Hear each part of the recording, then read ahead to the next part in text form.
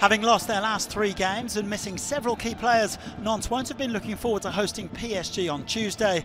And yet they stunned the capital club here at Le Beaujoire last season, so Thomas Tuchel won't have been taking anything for granted.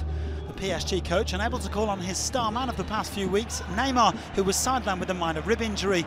That's two days after celebrating his birthday in the capital. But the champions still looking sufficiently equipped to continue their magnificent unbeaten run of 17 wins and two draws since early November. Now, Mauro Icardi was chasing his first goal in almost a month, and he could have got it here, but for a brilliant save from Denis Petric, making his first league appearance in three years in the absence of Alban Lafont. Icardi, who hasn't netted in seven games, denied from close range, but he eventually got on the score sheet on 29 minutes. It looked like Angel Di Maria had converted Kylian Mbappe's pass, but Icardi got the slightest of touches here, and so the goal was given to him. PSG have now scored in 31 consecutive games on the road in Ligue 1 Conforama. That's one short of the record that was set by Sedan back in the late 1950s. And they kept coming at the start of the second half. Marco Verratti with a long ball for Di Maria. And Andrei Girotto almost scoring an own goal. The ball bouncing back off the crossbar. PSG did go on to make it 2-0 on 57 minutes. Di Maria with the corner and Thilo Kehrer getting a rare goal for the Capital Club. Just his second. He was on target against Strasbourg last April. But doing a good job here to head in from the corner. Set pieces haven't been Paris's greatest strength this season.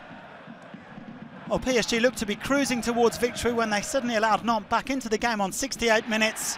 An error from Presnel Kimpembe and Moses Simon was away. Great pace and great technique to make it 2-1.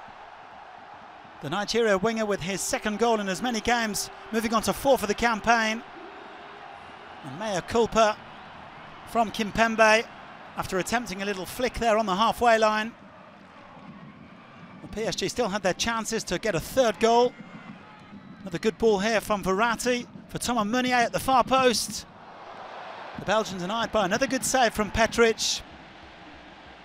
But it was Nantes who ended the game more strongly than PSG, pushing for an equaliser, and they might have got it here through substitute Renaud Emond.